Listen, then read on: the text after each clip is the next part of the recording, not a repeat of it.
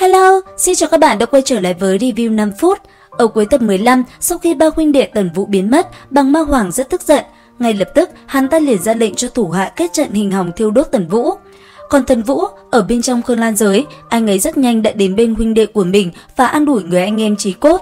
Tuy vậy, ở bên ngoài, bằng ma hoàng lại không ung dung như thế. Sau khi dùng trận pháp phá tan nơi này, hắn vẫn không phát hiện ra dấu vết nào. Bởi vậy, bằng ma hoàng rất tức giận, ngay lập tức, hắn ta liền sai thủ hạ đi dò xét ở xung quanh nơi đây, muốn tìm bằng được Tần Vũ. Trở lại với Tần Vũ, sau một thời gian dài, anh ấy cuối cùng cũng trốn thoát được đám người bằng ma hoàng và đến một tinh vực mới. Ở tại đây, mọi người cũng bắt đầu bàn với nhau về hành trình và dự định tiếp theo của mình ở tại nơi này. Và dưới sự sắp xếp của Tần Vũ, mọi người cũng không có ý kiến gì, nhất là Hắc Đồng, ở tại tinh vực mới, nàng có thể vui chơi thỏa thích. Bởi vậy, thấy Tần Vũ vừa nói ra điều này, nàng đã liền chạy tới và ôm chầm lấy cánh tay đại bá của mình và làm ra bộ dáng vô cùng đáng yêu.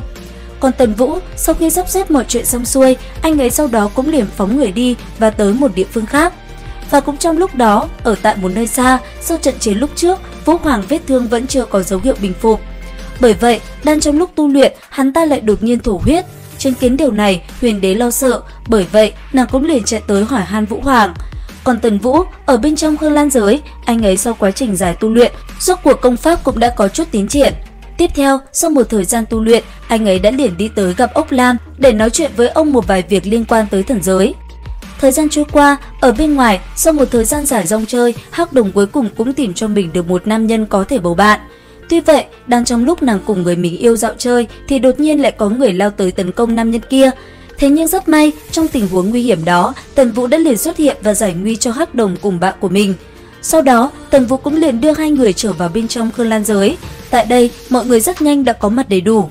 Chứng kiến con gái mình có người kể cạnh, Hắc Vũ không khỏi lo lắng, còn Hầu Phí, anh ấy lại thấy vô cùng thích thú. Tiếp theo, sau một hồi nói chuyện, nam nhân bên cạnh Hắc Đồng cũng giới thiệu cho mọi người biết mình là Quách Phàm. Còn Tiểu Hắc chứng kiến nam nhân kia có tình ý với Hắc Đồng, anh tức giận, ngay lập tức, bàn tay khẽ động, Tiểu Hắc liền định dạy cho tên kia một bài học. Thế nhưng, cũng đúng vào lúc công kích của Tiểu Hắc chuẩn bị đánh ra, thì con gái mình lại đột nhiên lao ra và chắn trước người tên nhóc kia. Ở bên cạnh, chứng kiến chuyện này, Hầu Phí chẳng những không buồn mà lấy đó làm chuyện hài hước cười khoái chí. Tuy vậy, sau đó, cũng nhờ có Hầu Phí cùng Tần Vũ giảng giải, Tiểu Hắc mới nguôi đi phần nào cơn giận của mình. Không chỉ vậy, Bạch Linh cùng mọi người ở bên cạnh cũng nhanh chóng giải thích cho Tiểu Hắc hiểu chuyện của con gái.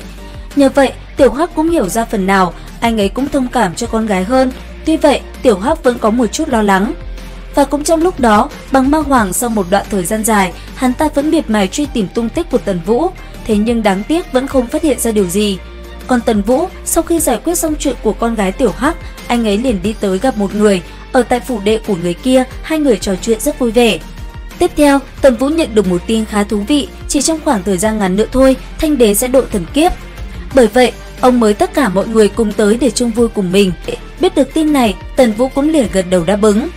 Cuối cùng, sau một hồi nói chuyện, biết được một số thông tin quan trọng, Tần Vũ cũng liền cáo tử vị đạo sĩ kia và rời đi khỏi nơi này. Trở lại bên trong khương lang giới, Tần Vũ liền đem chuyện này nói lại cho mọi người cùng nghe, bởi vậy nghe xong, tất cả đều cảm thấy hứng thú. Sau một hồi sắp xếp, Tần Vũ cũng liền nói ba huynh đệ của mình, họ sẽ chuẩn bị đi tới tiên giới để xem thanh đế độ kiếp. Thế nhưng lần này đi, mọi người sẽ phải rất cẩn thận bởi vì ở đó sẽ có rất nhiều cao thủ cùng bẩn sĩ có thực lực cao sâu. Chính vì điều này, trước khi rời đi, Tần Vũ đã sắp xếp ổn thỏa cho tất cả mọi người. Sau đó, anh ấy cũng liền thi triển đại Nazi và phóng đi. Liệu rằng tiếp theo, Tần Vũ cùng mọi người sẽ gặp phải trắc trở gì trong cuộc hội ngộ này không? Theo dõi kênh để biết thêm chi tiết nha! Đến đây thì hết tầm 16 phần 5 tinh thần biến. Xin chào và hẹn gặp lại các bạn ở những video tiếp theo.